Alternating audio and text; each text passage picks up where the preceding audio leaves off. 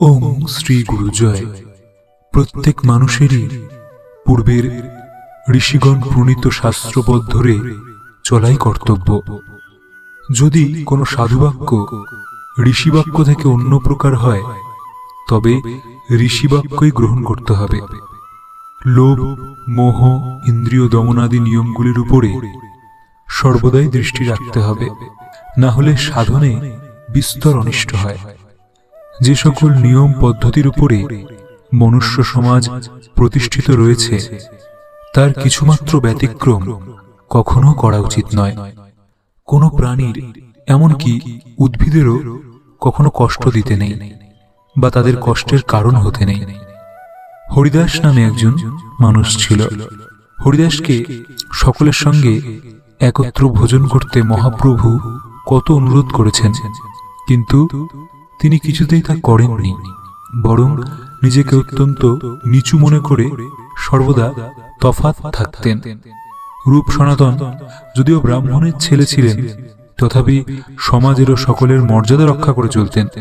কখনো সাধারণের সঙ্গে একত্রে ভোজনাদি করেননি। প্রকৃত ধার্মিক কিনা প্রকৃত ধার্মিক মানুষকে স্বভাব দিয়েই ধরা যায়। ধার্মিকেরা সর্বদাই বিনয়ী হয়। তারা সবসময় জ্ঞানের সম্যক ব্যবহার করে।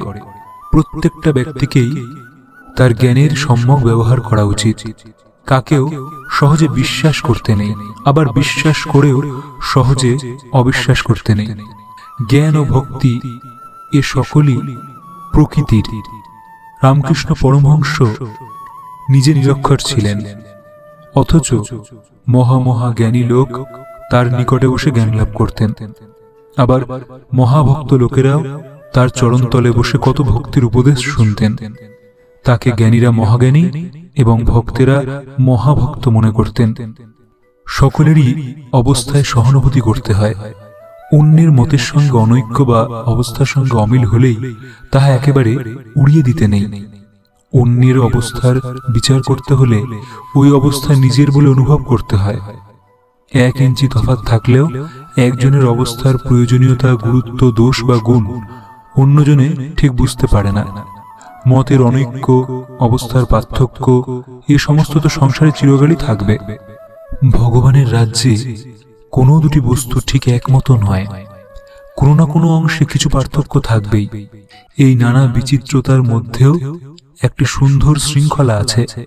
যতদিন মানুষ দেখতে না পায় ততদিনই গোলমাল করে। বাস্তবিক সকলেই এক প্রকার হলে প্রকৃতির একটি সৌন্দর্যই থাকে না। নানা প্রকারের ফুল গাছে বাগানের যেমন একটি চমৎকার শোভা হয়, শুধু এক প্রকারের গাছে সেই রকমটি কিন্তু কখনো হয় না।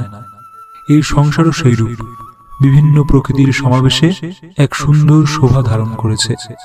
মানুষ যখন তা দেখতে পায়, তখন সমস্ত বিরোধী ছুটে যায়। প্রকৃতির বিচিত্রতার ভিতরে ভগবানের আশ্চর্য সৃষ্টির শৃঙ্খলা ও অদ্ভুত কৌশল দেখে একেবারে মুগ্ধ হয়ে যায় ও পরমানন্দ লাভ করে।